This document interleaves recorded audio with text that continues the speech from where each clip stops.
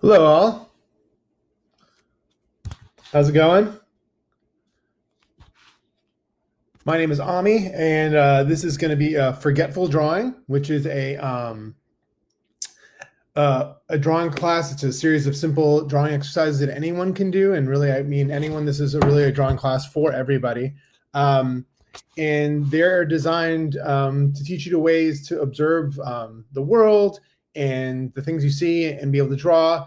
Um, not thinking too much about what you think those things should look like. What does a teapot look like? What does uh, my friend look like? But really breaking down um, the the shapes and the forms and the tones you can see in the world in a way that you can kind of your eyes translate them to your hands. So you don't think, oh, this is what a teapot should look like. You see the forms that you see, and you're able to kind of put that down on paper without thinking about it too much. And it really kind of these exercises are help designed to like build those drawing observational muscles, um, kind of help unlearn some of the things that maybe are impediments or fears that are built into drawing.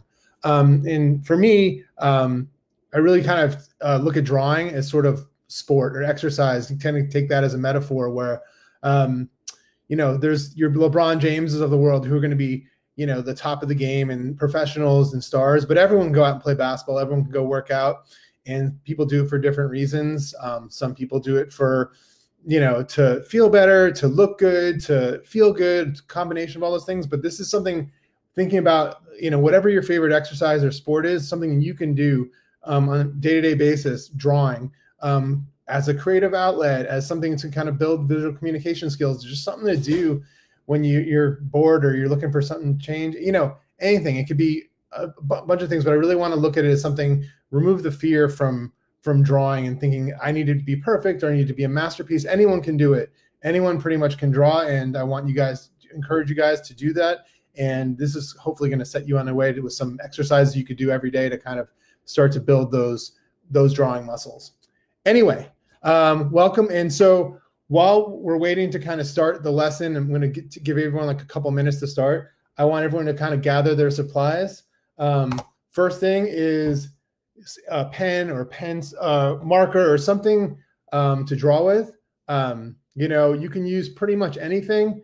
Um, we're not going to be doing any erasing. I really am moving against it. So I would kind of discourage the use of pencils or at least a pencil with an eraser. I want you guys to draw with something kind of bold that puts down a strong mark. And they're definitely not going to be erasing.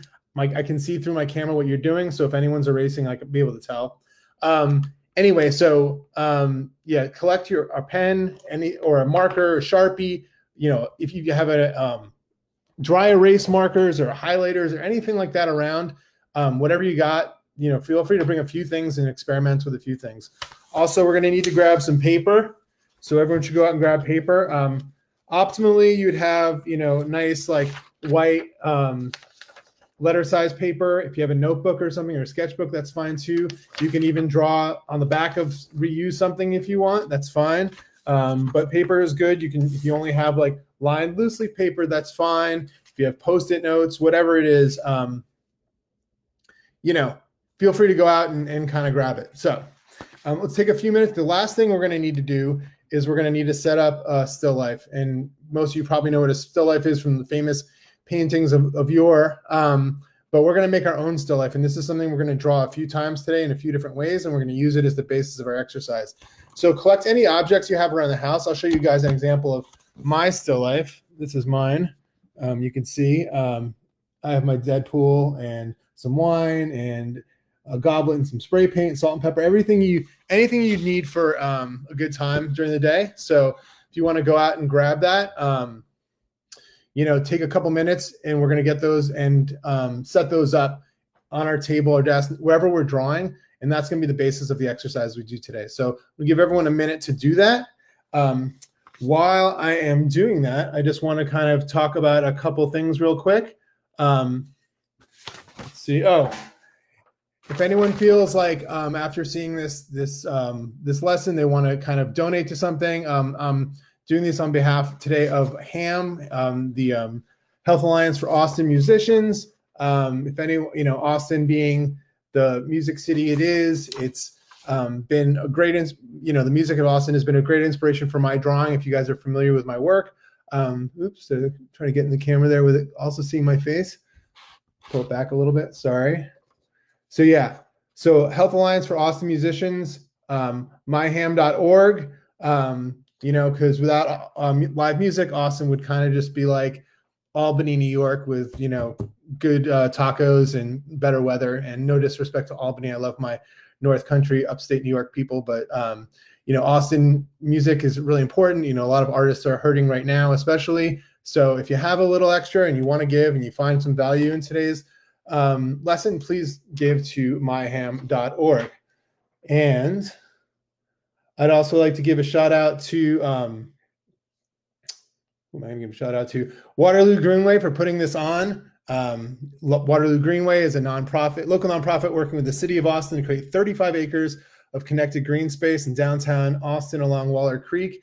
You know, if any have been to the Creek Show in past years, and they always put that on, it's really been amazing.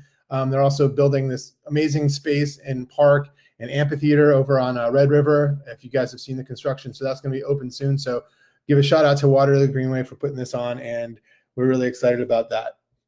So thank you, Waterloo Greenway. So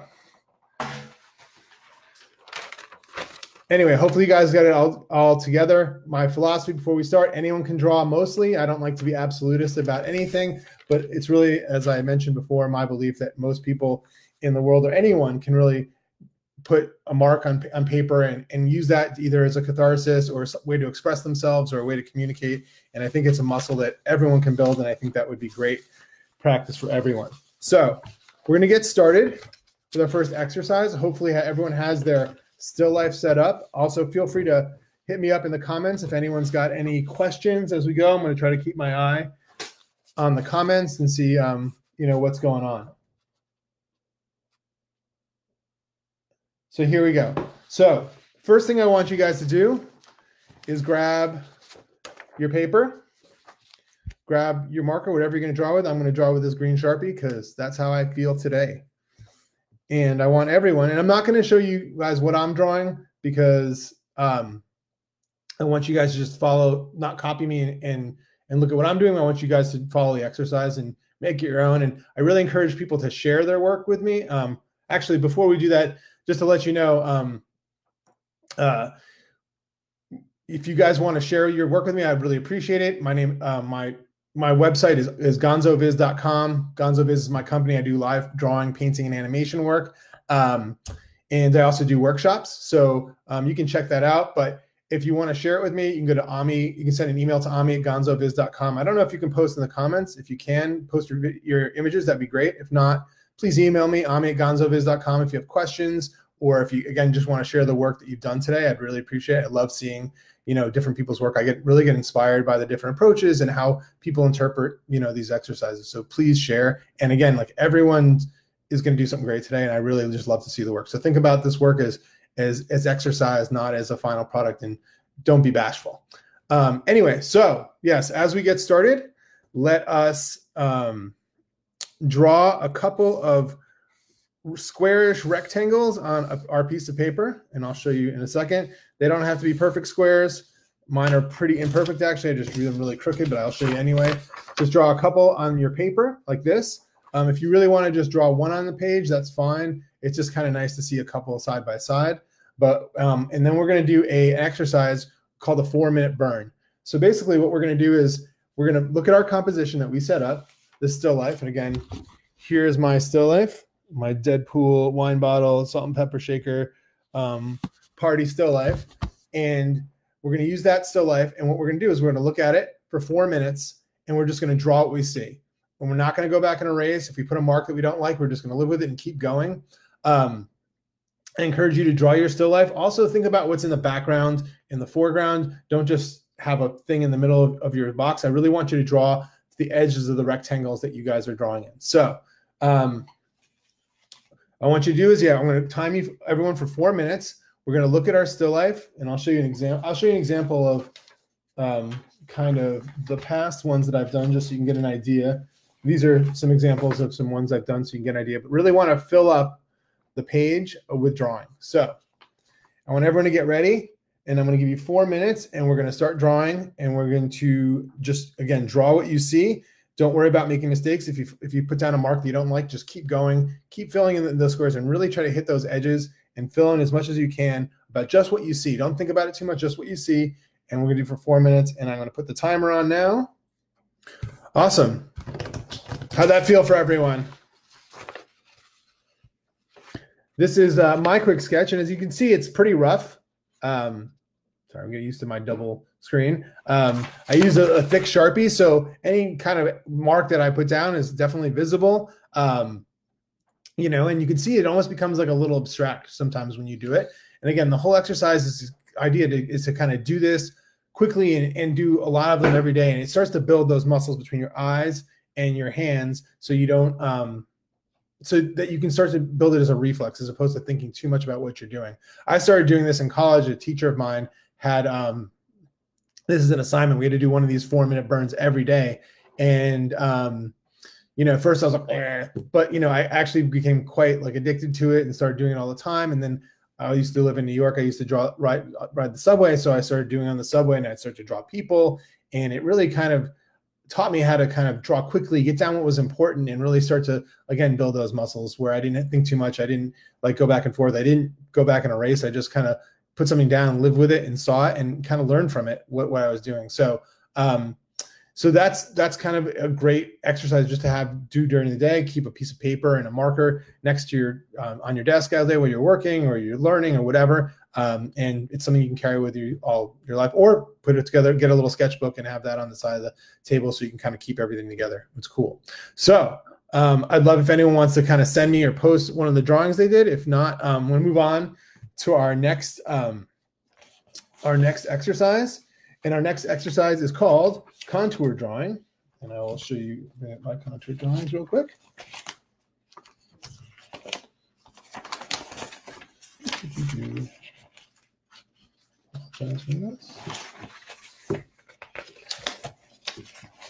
So contour drawings are, here we go. Sorry, a pile of paper on my desk. Contour drawings are basically I want everyone to kind of look at their at their um their still life they set up. Um yeah, Car- yes, Carol, you were supposed to be drawing. No, not me. You're supposed to be drawing the still life. So you're supposed to set up a still life. You can draw me if you want, but I'm going to move around. And again, we can draw people too, as long as they're pretty still. Um, that's fine as well.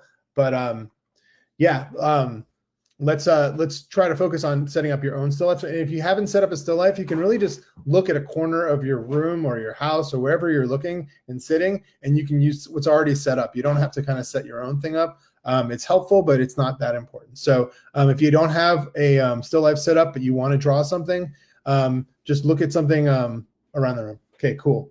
Um, so yes, so what we're going to be doing now is called contour drawing. And what contour drawing is basically what it sounds like you're going to look at your still life now, the same one you just did that quick drawing of, and you're just going to draw basically the edges that kind of create the forms of what you see.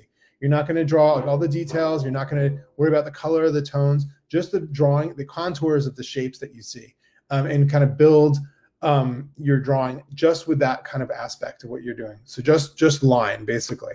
Um, and as part of this exercise, and to make it a little bit more um, to kind of build those muscles. So you're kind of tearing down a little bit of those preconceived notions or the idea to fix anything. I want you guys to try to do your best to keep your pen or marker or whatever you're drawing with on the paper at all time while you're drawing. Don't pick it up. Just literally just have it all down. And if you have to kind of have an errant stroke that goes over something, um, that's fine. But try to keep your marker or pen the whole time we're drawing on the paper. And um, you, and you, as you draw, you start to notice and see how this might feel a little bit different, and that's great. And that's, that's what's important about this exercise. So I'm going to give us three minutes for this exercise, and um, we're going to just draw the contours, basically the shapes that you see on the page. Um, and don't worry about detail or color or anything like that, okay? And, or shading, just lines. So I'm going to give you guys three minutes, and we're going to start. All righty. How'd that feel for everyone? Anyone have any thoughts before we move on? Um, and it, I think one thing I kind of feel when I was drawing, and this is kind of you can see my drawing, and it's a little see how the kind of the difference between the start you see you start to see the difference between the two different ways of drawing, but also thinking about how it feels differently when you're drawing that. Um, thinking about how you're, especially when you keep your marker down or your pen down on the paper and you can't pick it up, it's you start to learn a new way to track where you're at and track how the different objects all kind of lie together. And and it's just an it's again you building that muscle, you know, of, of unlearning like what you think you should see and just like what your hands and eyes start to build together. So um, if you feel that, then that's great, and keep doing this, and you'll start to feel that a little bit more. Um, so the next exercise, we're going to do pretty much the same exact thing. We're going to do a contour drawing, except the big hitch is we are going to actually not pick, look at what we're doing at all. We're just going to kind of draw blind. It's called a blind contour drawing. So exactly the same exercise, looking at the outlines and of the shapes and creating those, using the lines to create those forms, but don't look at your paper at all. And you can keep your pen on your paper too. And I think you'll find leaving your pen on your paper will now start to help you navigate where you're drawing as you can't really look at your paper anymore. So please don't look at your paper. Um, also, don't really worry about drawing inside of a inside of a rectangle anymore. You can use a full piece of paper because you won't be able to stay inside this rectangle anyway. So we're going to do this exercise again using your still life. Um, and but this time contour drawing, just the lines, making the forms, and no looking at your paper. And we're going to do just for just two minutes because any more than that, it's a little bit of a nerve wracking um, exercise, but I think you guys will find it's um, once you start to look at the results and see what you put down on the paper, it's going to surprise you. So no looking at your paper, two minutes, blind contour drawing, drawing the contours and shapes without looking at your paper. And two minutes now, and start. All right. So how'd that feel for everyone? A little nerve wracking, probably. Actually, I drew mine. It's a little bit, it's a little bit crazy. Um, and I'm looking at it, I'm like, oh, but I mean, as you start to draw these things, you'll actually see they start to form a little bit more closely to what you think they would be, as opposed to the the messy scribble that you think you're going to get when you're not looking at all. And I think what again, what happens is your eyes now that you can't look, your your hand starts to track and keep track of where it's going, sort of navigate your page. And also your and your eyes are just telling your hand what to draw. So it was actually this is a helpful exercise that I had when I was when I used to draw people on the subway in New York. And a lot of times I didn't want people to know what I was doing because people might get pissed off. So I would just be looking and drawing and nonchalant about it. And I think um, so I kind of use that in that way. And not that it, most people will be doing that. But anyway, it's a really great exercise. I know it's a little bit nerve wracking. It causes a lot of stress. But um, at the end of the day, it's actually um, something which is really helpful and started starting to build the, the, the way that your hand can see and navigate your page. So um, if anyone wants to send me what they've done, I'd love to see so far. In the meantime, we'll move on to another quick exercise. This one is I actually like a lot more for me personally, and it's something that I um, I spent actually learned to do a lot pretty young, um, and it's I call it shape drawing. Um, if anyone here was a fan of Marvel Comics when I was a kid, um, I used to have a book called How to Draw the Comics the Marvel Way by Stan Lee and John Buscema, and it actually taught me a lot of really early. And it's a great it's a great um, book, especially for kids, but even for adults who dig adult, comics and whatnot. Um, but it teaches a lot of like art school lessons earlier on before I ever went to art school or had formal art training. Um, taught about perspective and anatomy. But one thing that was that I really stuck with me is the idea of kind of being able to look at the world and breaking it down into its basic forms, its basic shapes. So the idea being like taking a bear or something like that and breaking it down into a series of simpler shapes. And in this way to kind of help you um, kind of navigate what you see and, and more easily describe and put it down on paper. So once you have the basic forms down there, then you can start to add detail and build as opposed to looking at a face or something complicated and it's very intimidating because you're like how can i draw this hand or this foot or this you know complicated building but when you break it down first to its very basic shapes it's rectangles it's or if you wanted to get a little more 3d down to like boxes and squares and and cones it's a lot easier to digest those things. And once you kind of build your structure with the basic shapes that you see um, and really look for those shapes in nature um, then you'll start to add detail on top and but your forms will be there. So it's basically modeling clay. You know you start with your basic form or if you've anyone's ever done 3d modeling when you have a very basic shapes and then you start to move into smaller and smaller polygons or start to to mold those things into more detail but you have their basic forms there so everything is kind of connected. Also helps you with your proportions because you've already laid out all the basic shapes and how you see them and you can see how big the shapes are in relation to each other as opposed to trying to do that with the specific details of what you see. So what i want everyone to do is to kind of look at their still life again and using rectangles and and circles and triangles and spheres and very basic geometric shapes to redraw what they see using those those shapes. And, and if you have some time to start adding a little bit of shading in to give it volume, if anyone's drawn before, that's a helpful thing too. But what I want you to do is go back to your paper with um, that has uh, uh, rectangles drawn on it. So draw if you have, haven't done that, if you haven't drawn another piece of paper with some rectangles on it, take a second now, draw, take a piece of paper, draw a couple of rectangles on it, and we're going to draw again, and this time again, looking for the shapes that we see and starting to build our forms. The same still life that we've been doing, but use that to um, to start to, those shapes to draw it. Um, all right, so I'm going to start it. We're going to do three minutes on this, and then we're going to actually, yeah, we'll do three minutes. We'll do four. Yeah, we'll do three minutes. Um, let's do four. Um, and if if you get done really quickly, um, feel free to start adding smaller shapes on top of it to start adding those details or do a second one if you want to. But let's do four minutes. It gives you some time to kind of see those shapes and render them and then start to add more details. Like if you draw your face as a just a, an oval and start to add those little eyeballs on top of it or the no, the shape of the nose is a basic triangle, eyes is basic ovals, the mouth is a basic oval, and then start to add the details on top of that. So four minutes starting now. We're going to draw our still life again as basic shapes. All right.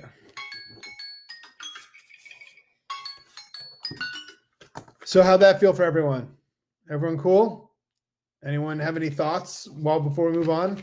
This is kind of my like quick little rendition of my composition. See, I started to be able to kind of see things as these basic shapes and break it down. And actually takes a lot of pressure out off of the idea of like having to get things perfect or making it look like things because all you need to do is get those basic forms in there. And if anyone's ever done gesture drawing um, our, our class or anything like that, where you basically take the basic gesture and just draw basically a circle for a head and a little line for a spine or, and, and the and, and the arms and then start to fill shapes on top of that it really kind of takes the pressure off. It's also great for drawing hands and feet which are seem kind of like complex and difficult things to draw especially when you start to break the hands and the feet down into um, their little shapes and basic shapes, they become a lot less intimidating, a lot easier to kind of track your proportions and your size and how things are start to look. And once you have that basic skeleton built, you can start to add, again, add that details on whether you want to draw over what you've done in a darker form or use tracing paper, or this is a good opportunity if you want to take these sketches. And one thing that's really fun with these sketches, if anyone draws on an iPad or anything, is to take these rough sketches that are done on paper. Um, and I encourage people not to do these exercises on an iPad. I can't stop you, but try not to um, because you can go back and erase. But what's fun is taking these sketches you've started and and then taking them into your onto your iPad or into Photoshop or however else you draw using some tracing paper and then start to draw and paint over them. And you can start to you know use these as the basis for paintings or for digital paintings or something more you know kind of tighter that you spend more time on. So you can look at these as exercise. And if you think look back at, at some of the famous artists of all time a lot of them did this. They you know do dozens of, of sketches and studies before they started getting into their final painting and piece. So you can start to look at these as studies for a, a, a more um, finished piece whether it's more realistic or more abstract. But these are just great ways to kind of start to get ideas into your head get forms into your head and start to build compositions and become comfortable with that. So and the reason we do it quick again is we don't want to make too many changes. We want to just kind of keep going. So now that we've done the shape drawing we have one more basic drawing exercise. Um, and this is um, drawing in lights and darks. So basically what we want to do now is look at our composition and just kind of pull out sort of the lights and darks that we see, you know, and, and really allow those, those shadows and those tones to help create the shapes that we're doing. Hold on one second. Griffin. Griffin. Griffin. I'm on the live stream, so shh. Sorry, kids. Um, so basically, we want to really find the um, lights and darks in our form and using uh, just darks. All we're going to do is draw in our darks. We want to fill those in and help those create our forms as opposed to using line and shapes. And again, I really don't want you to think too much about color. Start to think about the relative color. What's a dark and what's a light in what you're looking at. And what we're going to do is, is basically thresholding that. If, What I mean by that is basically you take a value and either it's a zero or a one. Zero is white and one is black. So just fill in the blacks and we're going to create our, our forms and our compositions just with those. And it's really kind of fun, actually. It almost, again, feels kind of like a modeling kind of way where we start to feel in almost just kind of like the negative space to help create um, the forms and the shapes. So I'm going to give you guys um, four minutes to do this because it's a little bit of a slower process. You want to take your time. Four minutes, look at your composition again, um, work in a rectangle, and um, start building that composition based upon just the darks that you see. Use the darks to kind of create your forms. Um, so I'm going to give you guys four minutes and start. And it's helpful in this to use something which is going to nothing too light, like a very light pen is going to drive you a little bit crazy because it's going to take a long time to sort of fill in those shapes. So you want to work with something a little more substantial, like a, a little darker pen. A Sharpie is cool. It's a little ambitious or like a, a dark art pen or something like that, just to sort of um, give yourself a little bit more, make it a little easier on you to get that, that shape down. So you don't um, have to spend a lot of time just like scribbling in to make it dark. So but yeah, I'll give you guys a warning in two minutes and let's draw lights and darks in this composition.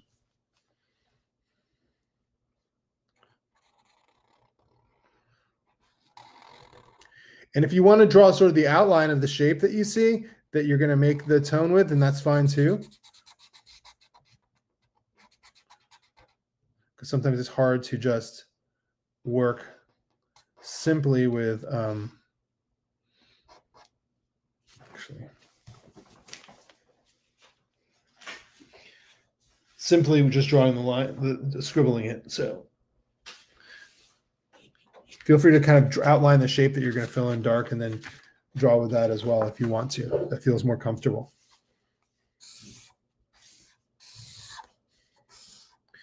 And even working in like a dark object when the whole thing looks dark, for instance, right now I'm going to draw this wine bottle um, what's interesting about the a wine bottle or something reflective is like even though it looks black, you know, there's actually quite a bit of like relative lights and darks in there with the especially with reflective surfaces you can kind of find those so it's an interesting exercise to begin to find those lights and darks in, in an object that might look pretty light or pretty dark altogether so if you have those objects in your compositions I would totally encourage you to kind of focus on those two and see what you can kind of draw out from something which is seemingly all dark or seemingly all light.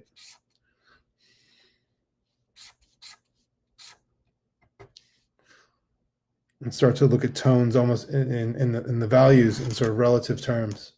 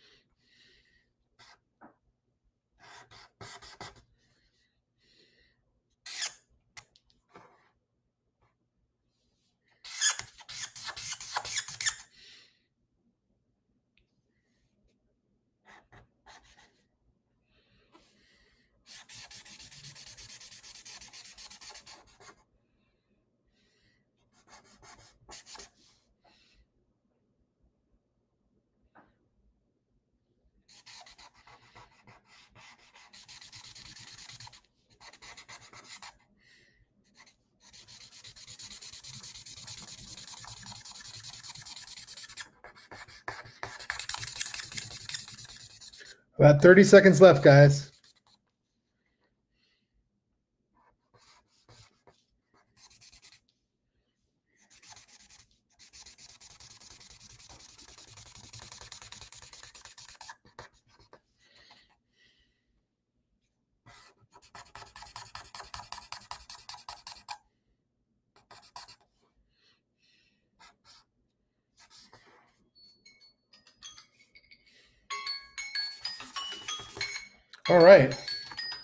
How'd y'all do? Dismiss this, you. So I was gonna, as I was talking, I have a wine bottle at the edge of my composition. I really started to kind of try to figure out the wine bottle itself and start to look at the lights and the darks. I mean, this takes a little bit more time, this exercise, because you really want to spend some time exploring those different things. And when I started to look at my composition, you know, things, some things look lighter than others because my wine bottle is obviously dark, but I really tried to look at what was a dark and what was a light and kind of break them down into those twos. And I started to build these forms and not just what was in the foreground, the wine bottle, but also starting to look at what's in the background. There are some boxes and stuff kind of in my background because I'm kind of been moving and just to kind of figure out what there's a light and dark and start to build the forms of those things with the lights and dark. So I'm super curious to see what you guys have been drawing. So I'd love it if you guys wanted to share with me. Um, anyone have any comments or thoughts as we move through this? Um, until we're going to move to our last little quick exercise before we have to go. Okay, cool. So I think um, a couple things, just a couple of tips that I have before we do our last exercise. One thing is um, as you do these exercises, these things, I think changing um, environments is actually good. I know we're all kind of cooped in our houses and it's kind of tough, but if you have like a backyard or a porch or a fire escape or whatever you you have, uh, going outside to do some of these sketches is really great. Um, obviously, keeping safe social distance from yourself, but uh, um, and just noticing the change in things like light and depth when you start to look at things far away um, as compared to looking at stuff really close up inside your house and really kind of noticing those things and kind of changing it up so you can kind of build those muscles not just with the same um, thing inside but like you know start to build a, a, wider repertoire of the way you kind of see the world so um, i really suggest you again like this is me out on the trail a few weeks ago like really going out and kind of finding different scenarios and different forms and different kind of situations to draw in and i think it'll help you kind of build a wider build those muscles in a wider and more um, varied way Another thing is, um, especially when you're starting to get do something quick and you want to get some tones down quickly, um, think about using a light marker or light pen or something like that, like a highlighter. Um, let's see, like this. Um, just kind of start start when you start to build those basic shapes, you know, especially with shape drawing, to use them to kind of block out some color and block out forms because you can get a very basic form really quickly done with a, a marker or highlighter. like so. And then if you have time, you can go back in with a darker and finer point um, type of, of medium, like a, a Sharpie or like a, a, a ballpoint pen or whatever it is, and start to add in, use those, what you've just blocked out with the thicker stuff to sort of help guide you and start to fill in some details on top of it. So um, using that, it's almost like a, if anyone's familiar with like watercolor, is kind of laying down a wash first and then starting to add in your detail. But it really helps you to move, be able to move quickly, especially when you're doing shape drawing or lights and darks, and get those basic forms down, and then start to add in kind of the details on top of it as you go. Um, so our last exercise we're going to do real quick before we go is now knowing all these different things that we've done, these different exercises, and these different ways of kind of looking at the world, perceiving and rendering it. We're going to do our four minute burn again, and I'm going to let you guys kind of do it as you want. But um, let's kind of bring all those different things that we've kind of just learned into how we do this this four minute burn. And again, you can you can do it just line, you can do it just shapes, or you can kind of bring all those elements in at the same time. But just start to be cognizant of that as you do your four minute burn now. Now that you've kind of learned these different ways of looking at the world. So one more four minute burn before we go. Um, and I just want to thank you all for joining me today. And before before we go, I'd also like to thank, because there's some more people to thank, of course. Um, I'd like to thank. There we go. Oh, I'd like to thank Waterloo Greenway. Um, th- this program that they've done, this um, Waterloo in Place, basically reaching out to the community when you couldn't be there physically, and they'd run so many wonderful things, you know, in the past. And so I think it's really great that they've adapted here and trying to keep connections with community creatively.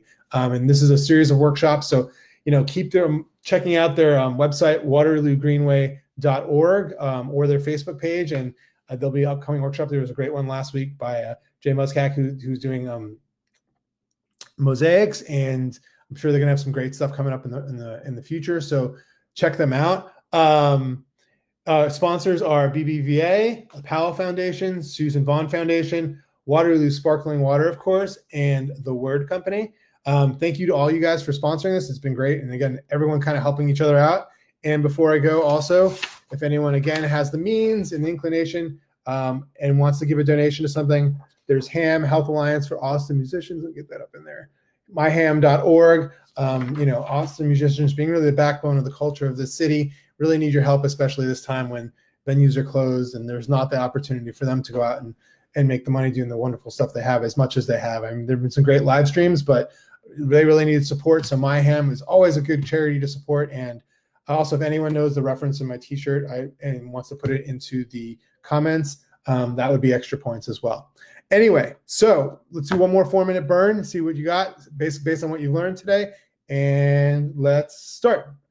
Put down that. Oh, actually, let me just. Oh, let me grab that paper first. Yeah. Draw your rectangle. And let's do that one last four minute burn. Start now. I'll give you guys a two minute warning.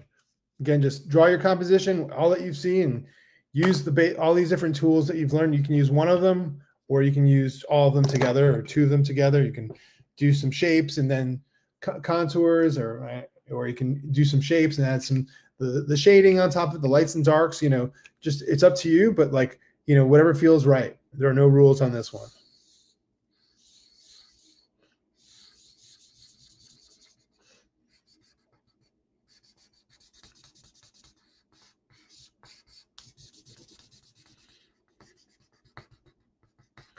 And one day I'll be actually be good at drawing Deadpool because I'm not good at it now.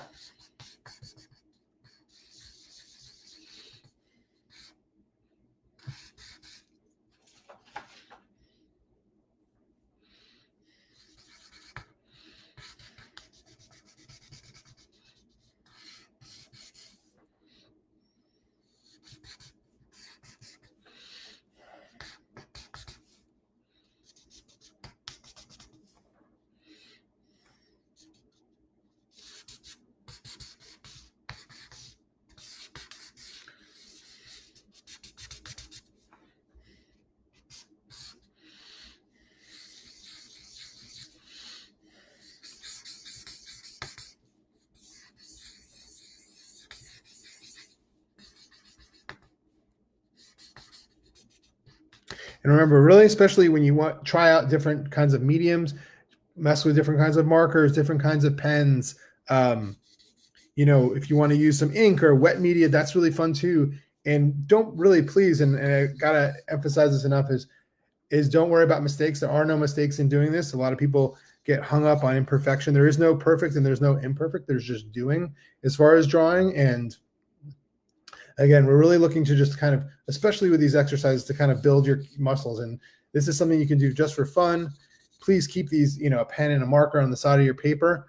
Um, I'm sorry, on the side of your table, and do these once a day. You'll a just doing the act of it is very, at least for me, feels a lot better. It's very cathartic. It, again, feels very much like exercise. After I'm done, I feel a lot better. And um, but you'll really start to do this if you do one one or two of these every day. Really start to see how you become a lot more comfortable with the drawing and and comfortable what you do. And, and actually having a sketchbook where you keep all these drawings in is a great exercise because then you can start to see the progression and start to remember those moments and start to kind of like see how you improve and see observe different ways different things you've done and different mistakes you might have made that actually taught you something and were celebrated and wonderful like a, a wonderful drip or errant lines or way you kind of approach something.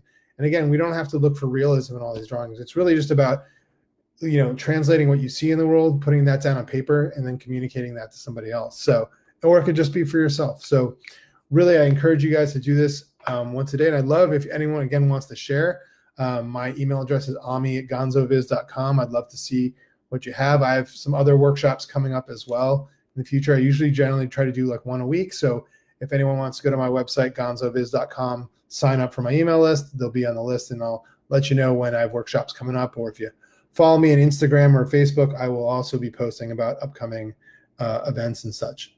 So we've got 30 seconds left on this one. Sorry for not giving you the two minute warning. I was too busy yammering away.